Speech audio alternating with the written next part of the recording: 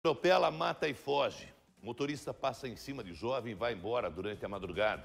Esse atropelamento foi aqui na região do Abranches. A mulher era mãe de três filhos. Vamos ver. O acidente aconteceu neste trecho da rua José Bajerski, no bairro Abranches, em Curitiba.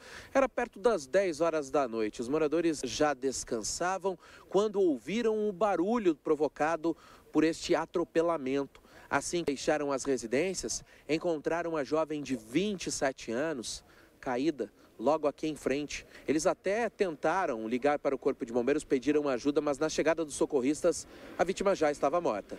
Aline Moreira dos Santos morava perto de onde foi atropelada. Ela tinha deixado um bar na região e caminhava a casa no momento do acidente. O detalhe é que nenhuma informação sobre o veículo atropelador foi repassada à Guarda Municipal que atendeu a ocorrência.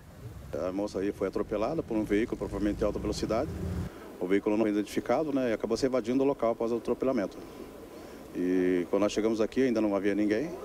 E aí aguardamos a chegada do CIAT que, que constatou o óbito da vítima. A Delegacia de Delitos de Trânsito investiga o caso. A jovem deixa três filhos.